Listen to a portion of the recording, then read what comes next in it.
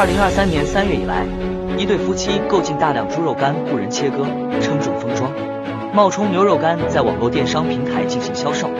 合计销售金额五百余万元。猪肉冒充牛肉干，并在电商平台上销售，且涉案金额高达五百余万元。这是一起严重的制售伪劣产品案件。以下是对此事件的看法：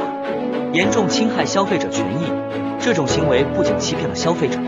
还严重侵害了他们的合法权益。消费者在不知情的情况下购买了假冒伪劣产品，不仅经济损失，还可能对身体健康造成潜在威胁，破坏市场秩序。制售伪劣产品扰乱了正常的市场秩序，破坏了公平竞争的环境，合法经营的商家因此受到不公平竞争，长此以往将损害整个行业的健康发展。法律严惩不贷，对于此类违法行为，法律必将严惩不贷。相关部门应加强监管力度，加大对制售伪劣产品的打击力度，确保市场秩序稳定和消费者权益不受侵害，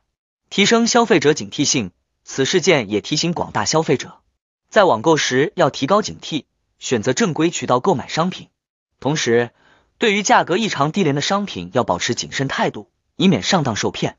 综上所述，猪肉冒充牛肉干并在电商平台上销售的行为极其恶劣，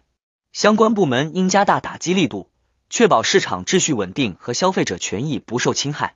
同时，消费者也应提高警惕性，选择正规渠道购买商品。